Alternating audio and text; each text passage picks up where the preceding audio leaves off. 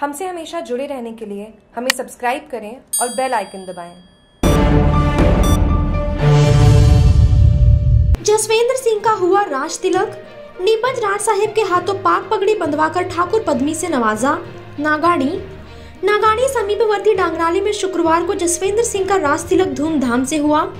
जसवेंद्र सिंह के काको शाह गंगा सिंह देवड़ा ने बताया कि डांगराली के ठाकुर साहब शैतान सिंह देवड़ा का 1 फरवरी 2022 को निधन हुआ था। इसके बाद उनके पुत्र जसवेंद्र सिंह का निम्बज राज साहिब भवानी सिंह के द्वारा राज तिलक धूमधाम से हुआ। राज साहिब भवानी ने जसवेंद्र सिंह को पाक पगड़ी अपने हाथों से बंधवाकर ठाकुर पद्मी से नवाजा।